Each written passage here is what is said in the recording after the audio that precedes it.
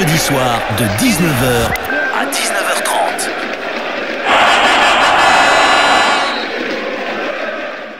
Allez, bonsoir à tous. Nouvel épisode, nouvelle émission 100% CO. On respire mieux, on respire mieux du côté du Castre Olympique grâce à cette victoire à Agen. Ces 5 points qui font énormément de bien. Prochaine échéance, c'est Pau. Réception samedi 20h30 au stade Pierre Fabre. On vous fait gagner vos places pour la réception de Pau. Vous envoyez par SMS Castres au 7 17 18.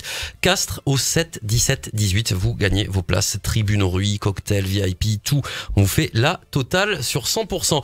Nos invités ce soir on reçoit, c'est un habitué, il est à la maison quasiment, c'est Mathias Roland, le directeur du Castre Olympique. Bonsoir Mathias. Bonsoir Cyril, bonsoir à tous. Et puis on reçoit également, lui aussi c'est un habitué parce qu'il est venu une paire de fois, Antoine Tichit. Salut Antoine. Salut, ça va? Ça va, merci. Bah, alors c'est surtout euh, à toi, c'est aussi pour ça qu'on t'a fait venir. On voulait te, poser la question Antoine. On sait que tu es blessé, il y a eu une opération. Euh, où est-ce que tu en es actuellement? Comment tu, comment tu vas?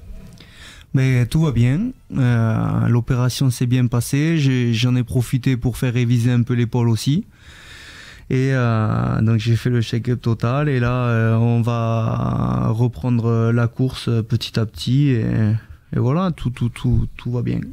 Il y a... La révision des 30 000, on appelle ça. C'est ça, la révision des 30 balles. Il est parti pour un moment là, c'est bien. T'en es où en termes de, calendrier Tu vas reprendre la course bientôt tranquillement euh, hmm. une reprise véritablement de, du terrain. Est-ce qu'on peut revoir Antoine Tichit sur le terrain cette saison euh, ou est-ce que c'est ça va dépendre? Comment ça se passe? Ouais, ça on, peut pas trop le dire quoi. C'est, vraiment euh, l'avancée qui va faire que ou pas quoi. Mais, mais en tout cas on travaille bien. Il y a Nicolas Fries qui s'occupe bien de moi qui me soigne là. Et, et tout avance bien on parlera après, euh, on va, te demander euh, ce que tu fais de, de, tes journées, comment ça se passe. On l'a fait déjà, on avait reçu euh, Danny Kotze, Marc Claire qui nous avait expliqué, ben, voilà, ils avaient tous un petit peu le, leur truc pour s'occuper. On demandera qu'est-ce que tu fais Antoine, toi, pendant ces, ces, journées qui parfois, on le sait, hein, quand on est blessé pour longtemps, peuvent paraître un petit peu longues.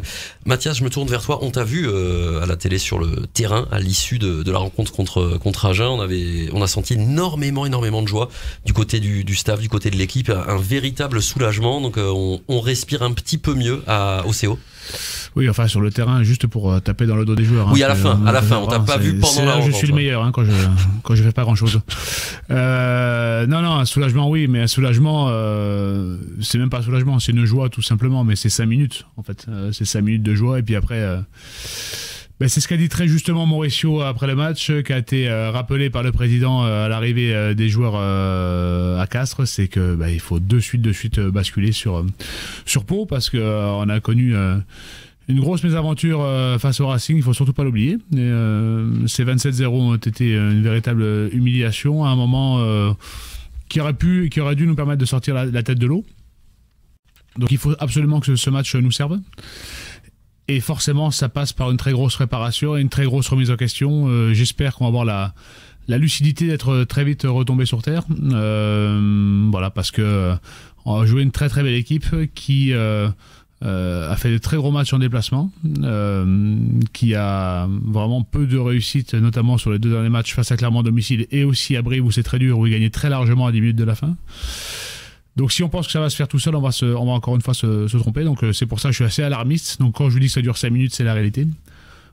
Vraiment, préparons-nous comme il faut parce que euh, Pau va être un match très très euh, compliqué. Justement, rien n'est fait en fait. Hein, c'est le message. Est-ce que Pau, est-ce que cette réception n'est pas presque plus importante que, que le match contre, contre Agen? Et Vous savez, c'est ce qu'on a dit quand le cap a été refixé par par Mauricio à la reprise euh, le, jeudi. Hein, il reste 12 matchs. Là, maintenant, clairement, c'est le mode maintien. Et, ces 12 matchs, 12 matchs vont être euh, capitaux, notamment dans l'état d'esprit et dans la manière dont on va les préparer.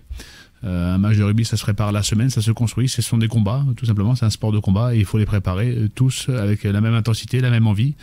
Donc oui, Agen était important, mais il n'était pas décisif. bien évidemment qu'on est content d'avoir pris 5 points. Après, si ça n'avait pas été le cas, qu'il y aurait un autre résultat, il aura fallu batailler contre Pau et remettre le bloc de chauffe chaque week-end. Donc, quoi qu'il arrive face à Pau, il y aura encore une fois rien de définitif. Il y a eu une, une belle histoire euh, autour de ce match hein, que j'ai bien aimé aussi. Vous en avez peut-être parlé avec lui. C'est euh, Martin Lavaux qui est pas dans le groupe, qui profite que Geoffrey Palis soit un peu malade pour euh, pour rentrer titulaire. Paf, il claque le doublé. Ça, c'est les, les, petites histoires. Ça montre aussi le, la force, la tenue d'un groupe. Oui, oui bah c'est la force de ce, de ce groupe. Hein. Bon, ça fait euh, dix ans que je suis au club, j'en ai vu passer quelques-uns. Euh, j'ai vu aussi bah, le club à une autre période, une période un peu difficile aussi. Hein. Il faut, euh, ça fait partie de l'histoire des clubs, donc il faut, le, il faut le regarder avec lucidité. Et ce groupe, il fait que bah, tous les joueurs ont envie de jouer. Et moi, j'ai j'ai connu des périodes plus difficiles où c'était, il fallait compter les joueurs qui, qui jouaient, qui étaient soit à l'infirmerie, soit pas là, soit donc euh, là, on a vraiment un groupe de compétiteurs axé encore une fois sur euh, bah, le maintien d'un club, d'une institution. Ça fait 31 ans qu'on est euh, dans l'élite, donc c'est important, c'est une responsabilité, mais à tous les étages du club. Et Martin bah, symbolise ça. Martin n'était pas dans le groupe, effectivement, comme tu l'as justement dit. Mauricio l'appelait, dit bah, il va falloir que tu sois remplaçant.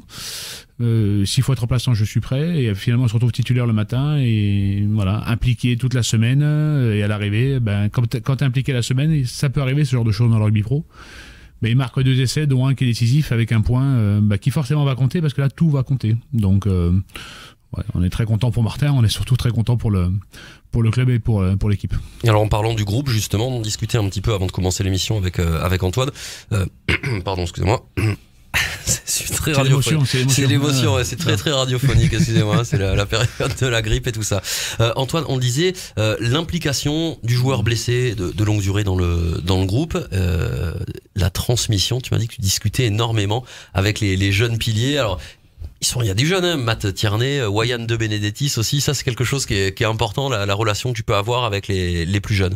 Ouais, ben c'est ce que je me suis dit euh, il y a 15 jours, 3 semaines, c'est qu'il va falloir que, que t'aides d'une façon ou d'une autre le club parce qu'on a on peut tous donner donner un peu. Et, ben, par exemple ce matin là on avait programmé avec euh, avec Wayan on a on a regardé les mêlées on a j'essaie de d'apporter un peu mon expérience pour qu'il corrige deux trois détails et, et qu'il puisse euh, être encore plus performant que ce qu'il est tu en profites aussi pour euh, regarder, tu as un peu de recul évidemment sur euh, les prestations de l'équipe, sur, euh, sur la période.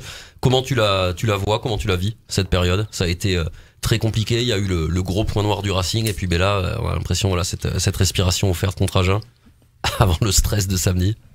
Comment je la vois? Ben, Déjà, j'en ai connu des périodes comme ça parce que, parce que voilà, avec, avec Oyo, on, jouait le maintien. Et, et je la, je, c'est comment comment on peut l'expliquer? C'est c'est bien aussi de jouer le maintien quoi. C'est un championnat qui est différent où il faut s'arracher tous les week-ends. Et euh, et voilà ben, quand je vois euh, les joueurs que tous les joueurs qu'on a ben, quand même où il y en a la majorité il y en a pas mal qui sont tarnés qui aiment leur club l'implication qu'ils y mettent et, et, voilà ça a scoré ce week-end par exemple ça me fait ça me fait penser que ben voilà je, je suis pas inquiet quoi et à, ça me fait, à Oyonnax on avait une équipe aussi qui aimait, qui aimait son club et, et j'ai une petite anecdote c'est qu'on sortait de deux défaites à la Piole on était 14e du top 14 à mi-championnat et finalement euh, on a on, s'était réunis comme on l'a fait ici on s'est parlé, on, on, a commencé à regagner les matchs et au final, à la fin de la saison, on joue un barrage à Toulouse. Donc euh, ça serait dérisoire de dire aujourd'hui qu'on va pouvoir faire un barrage, mais, mais euh, en tout cas, si. la preuve, ça va vite. Ça va très vite, et puis euh, je ne sais pas ce que vous avez fait. Quoi. Mathias, dans ce contexte-là, euh, tu prépares quand même, enfin tu, toi et, l'équipe, vous préparez aussi la saison prochaine, les recrues, les contrats, tout en, ne sachant pas encore s'il y aura le maintien, s'il va être acquis rapidement ou pas. On imagine que ça aussi, ce sont des paramètres, c'est-à-dire qu'au-delà du sportif, ben, il y a la vie du club qui se poursuit et ça, on imagine que ça doit pas être les, moments les moins compliqués actuellement. Non, mais c'est, déjà, il n'y a pas de moment compliqué dans un club. Hein. Il n'y a que des solutions à trouver. Et euh, on a le bonheur d'être au Castre Olympique, euh, qui est un club magnifique avec des vraies valeurs et qui plaît. Et le Castre Olympique a une super image. Et forcément, euh, c'est, un, secret polichinelle. Hein. les joueurs le savent. Un hein. recrutement, ça se prépare. Et ça fait ben, un moment qu'on s'y attelle. Parce que ce qui est important, c'est la pérennité du club à ce niveau, cette saison, mais aussi sur les années à venir. Donc, on travaille bien évidemment. Et voilà. Et ce que je peux vous dire, sans révéler de quoi que ce soit de secret, c'est qu'on a une, excellente image et que les joueurs veulent venir euh, au CO. Euh, pas forcément pour euh, le, top 6 ou tout ce que vous voulez, parce que l'image que le club a, l'image que le club donne, ça correspond vraiment pleinement à des, valeurs de certains joueurs. Après, la trame de, tous ces entretiens, c'est le point de départ, c'est dire voilà, on va voir, c'est toi, tu es fait pour venir au CO. c'est nous qui choisissons. Après, après, le joueur peut aussi choisir si on le veut, il peut ne pas venir, mais c'est nous qui validons quand même on ne subira aucun joueur. Il faudra qu'il rentre dans le moule. Et c'est ce que dit Antoine. Euh, ça prouve qu'on ne s'est pas trompé sur Antoine. Il parle de club Tarnais, il parle de, joueurs de club, il parle de mecs qui aiment leur club il nous faudra des joueurs qui correspondent à ça. en même temps, ça fait un petit moment que tu es là, Antoine, donc j'espère quand même que le club s'était pas, s'était pas trompé. Euh, on s'en serait aperçu avant quand même. Non, non, mais euh, il n'est pas arrivé euh, par, par hasard, Antoine, et c'est ce qu'on appelle vraiment la définition de l'Olympien. Et ce qu'il a dit tout à l'heure, ça correspond parfaitement. Il va avoir 2010 pour expliquer les mêlées. Parce que dans ces périodes-là, c'est les 35-40 joueurs du groupe qui vont être importants. les blessés, le remplaçant, le remplaçant du remplaçant aura son rôle à jouer. Si le mec qui vient, qui fait la gueule, qui l'énergie négative, ce ne sera pas bon pour le rendement de l'équipe. Et au-delà de l'équipe, c'est tout un club, tout un territoire qui, euh, peut en pâtir. Donc chaque joueur a un rôle essentiel et c'est ce qu'on leur a rappelé. Mais moi, quand je les vois en réunion, je suis bien, bien évidemment, ça serait manquer d'humilité de dire que je ne suis pas inquiet, mais je suis rassuré de voir le groupe qu'on a. Parce qu'on a vraiment des mecs qui sont impliqués pour, euh, pour leur club. Mathias Roland, Antoine Tichita avec nous dans 100% CO. Le gros match, c'est samedi 20h30 à Pierre Fabre, la réception de Pau. On vous fait gagner vos places. Vous envoyez par SMS Castres au 7 17 18. Et ça, c'est le jingle que tu n'as pas envoyé, Nico. Mais c'est pas grave. C'est une tradition dans cette émission. On le fera plus tard. Euh, je voulais parler, tu parlais de l'image, euh, Mathias, et euh, on en discutait un petit peu euh, avec Antoine. Il y a quelque chose aussi qui, qui est en train de, de, changer, de basculer. On l'avait pas vu depuis un petit moment. C'est que l'équipe de France regarde maintenant du côté de, du côté de Castres. Wilfried Umpatin qui a été appelé, Baptiste Delaporte, et maintenant c'est tout frais en Anthony Gelon, début de semaine. ça, c'est important aussi. Ça dit quelque chose. Et puis on espère peut-être euh, Antoine Tichit euh, quand il va quand il, quand il va reprendre, c'est aussi une probabilité. Donc euh, oui, bah, l'équipe de France regarde, l'équipe de France a, un staff de, gens, de gens issus de club, de gens qui connaissent pour certains le club, puisque Laurent Labie en fait partie, Karim Ghazal en fait partie, William Savat, voilà, il n'a pas fait partie du CO, mais il fait partie de de notre génération entre guillemets avec euh, avec euh, Mauricio. Donc ce sont des Raphaël Ibanez aussi qui est passé par le par le club. Donc euh, forcément qu'on a des, des rapports de de confiance avec eux, mais surtout un staff qui est très ouvert et, et très à l'écoute des clubs. et ça, c'est vraiment c'est vraiment une grosse plus-value, je pense, pour l'équipe de France et aussi pour les, pour les clubs, parce que quand on envoie les joueurs là-bas, il est important qu'on ait des, aussi des, des, feedbacks et aussi qu'ils fassent confiance euh, au club. Euh, vous savez, si les trois joueurs dont vous avez parlé sont là-bas, c'est qu'il y a eu des gros échanges avec Mauricio pour savoir euh, s'ils étaient prêts, pas prêts, dans quel, état, dans quel état ils étaient. Et voilà, ça se fait constamment pour le moment en coopération et c'est, je pense, la, meilleure manière de rendre l'équipe de France performante, ce qui est essentiel aujourd'hui. Ça fait du bien, Antoine, ouais, de, de voir les, les, copains partir comme ça en, équipe de France, de se dire, ben, on, on regarde aussi chez nous.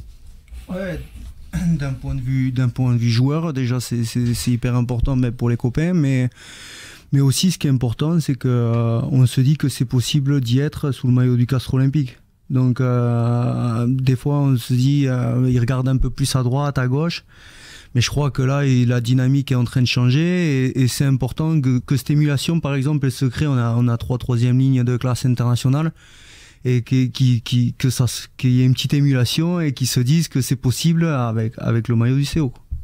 En tout cas, on espère à un moment que, peut-être d'ici la fin du tournoi, que un des, des appelés castrés euh, fera une, fera une feuille. Ce serait, ce, serait, fabuleux pour le club, bien évidemment. Bon, pour le joueur, bien sûr, hein, parce que c'est le rêve de, de tout joueur. Et puis, euh, encore une fois, je le répète, euh, voilà, il y a une très bonne dynamique qui s'installe et, et, ça correspond, en fait, il y a une vraie réalité avec le travail qui est fait dans les clubs. Voilà, ça, et c'est ça qui est important. On parle de, de l'image. Euh, je voudrais euh, revenir sur un, sur un point qui a été euh, assez criant par moment pendant le match contre Agen. Ça a été la discipline, encore une fois. On a vu une équipe castraise qui a été surpénalisée. en début de saison, Mauricio l'avait dit, hein, sur la, discipline, sur l'image aussi, hein, renvoyée parfois. Il voulait vraiment travailler là-dessus. Et encore une fois, euh, la discipline, ça a été euh, compliqué. Alors, qu'est-ce qui se passe? Est-ce que ça, reste le gros point euh, à travailler pour Castres d'ici la fin de saison? Est-ce que c'est une incidence de plein d'autres paramètres? Où est-ce qu'on en est de la discipline castraise? Non, mais la discipline, oui, évidemment, c'est un leitmotiv de, de Mauricio et ben, ça va être corrigé parce que sans arrêt, sans arrêt, effectivement, il le rappelle.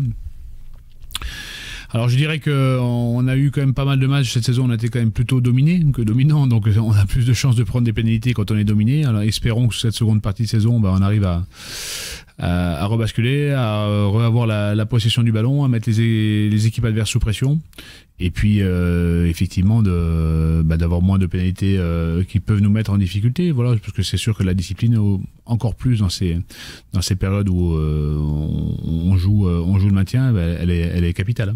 Antoine, ça c'est un truc qui vous, depuis le début de la saison, on en parle hein, de cette question de la discipline, euh, les cartons jaunes, les pénalités, etc. Mm. C'est un truc qui vous rend fou entre mm. joueurs quand vous en parlez entre vous. Vous dites mais comment c'est possible de passer d'une des équipes les moins pénalisées, euh, en plus on peut prendre la stat sur plusieurs années, hein, à, euh, à, cette situation-là actuellement. Je suis pas sûr de ça quand même. Oh, vous... non mais peut-être pas la moins pénalisée, hein, mais sur les dernières années, il y avait quand même une discipline qui était, qui était meilleure que maintenant en tout cas. Non, mais on, y travaille, quoi. Puis c'est le, le, gros message du, du staff. Donc c'est c'est ce qu'il faut qu'on arrive à changer, à changer un peu les, les mentalités l'image qu'on renvoie. Je pense qu'on renvoie une image qui est, qui, est, qui est, des fois un peu, un peu négative et, et peut-être que ça nous porte un peu préjudice cette saison. Maintenant, euh, voilà, quand tu t'engages, tu fais des fautes. Donc, euh, il faut être très discipliné, mais il faut aussi s'engager. Donc, euh, moi, quand je vois l'équipe qui tape fort comme ça le week-end, voilà, je préfère qu'elle tape fort qu'elle fasse des fautes que mais, mais c'est clair que ça il faut être très discipliné et le, le rugby moderne demande ça avec cette, cette, cette stat, hein, le, le COK a passé 172 minutes à, à 14 en infériorité numérique depuis le début de la saison. Je sais pas, alors je connais pas les autres les saisons précédentes, mais ça doit être, euh, ça, on n'a pas dû le, le, le, faire déjà quand même autant de autant de cartons jaunes. Euh.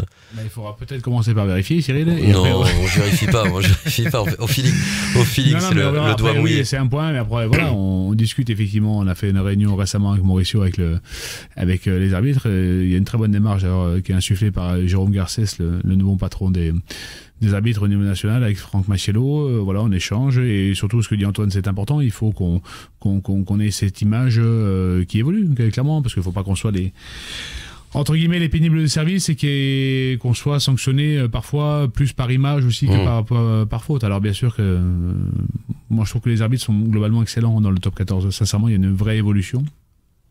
Donc faisons avec eux, faisons avec eux et adaptons-nous à, l'arbitrage qu'il faut. Après, encore une fois, je rejoins parfaitement ce que dit Antoine. Euh, quand on s'envoie comme ce week-end, c'est pas euh, dérangeant de prendre 12 pénalités. Euh, voilà. Il y a eu des matchs, effectivement, on a pris beaucoup de pénalités avec moins d'engagement. voilà. Moi, je préfère effectivement avoir ça. Alors oui, effectivement, c'est un secteur important. Mais le plus important, c'est de prendre les points, les points en classement. Donc ça fait partie des points, par contre, qu'il faut, qu'il faut quand même faire évoluer. Mais ça, Mauricio, c'est encore une fois, c'est un, un leitmotiv important. On a un arbitre hein, pour euh, information hein, qui vient intervenir euh, une fois par semaine euh, au Levezou pour corriger les attitudes, pour euh, corriger le rapport aussi à l'arbitre qui est très important. C'est tout ça qui, compte à la fin. Avec, pour info, un petit Rory Cocotte, moi je l'ai bien bien regardé contre, contre Agen pas un mot plus haut que l'autre. Il a été euh, vraiment, c'était euh, est toujours comme ça. Toujours comme ça, ça, ça, Mais là, c'était particulièrement. on a particulièrement bien vu Mathias Roland, Antoine Tichit avec nous dans 100% CO. On arrive à la fin de cette émission. Je voudrais juste en profiter pour vous rappeler euh, la victoire des seniors féminines. Elles ont battu Gaillac ce week-end. C'était le derby 27-13, nouvelle victoire des, des féminines du, du Castre Olympique qui font une super saison. Je vous rappelle également qu'il y a la journée de détection de l'association Castre Olympique. C'est le 26 février. Ce sera au Ray à 14h. C'est pour les jeunes nés en 2003, 2000 2004 et 2005. Et puis le club de Trèbes sera invité samedi pour la réception de Pau. Euh, le CO qui s'est entraîné à Trèbes début février. C'est dans le cadre du partenariat avec la région. Rendez-vous samedi 20h30 au stade Pierre Fabre. On vous fait gagner vos places. Vous envoyez Castres au 7 17 18 par SMS, Castres au 7 17 18. Et puis sinon, rendez-vous à la radio. Vous écoutez 100%. Vous vivrez cette rencontre en direct et en intégralité. Merci Antoine. On attend euh, avec impatience de te revoir en pleine forme sur le terrain. Merci, c'est gentil. Juste un, juste un petit mot pour, les, pour les supporters. Voilà, simplement, simplement leur dire que qu'on a besoin de samedi, qu'on a besoin d'un peu d'un stade, un, stade un peu hostile, comme l'a dit Mathias, ça va être un match très très compliqué. Et, euh, et voilà, il va falloir pousser fort pendant 80 minutes.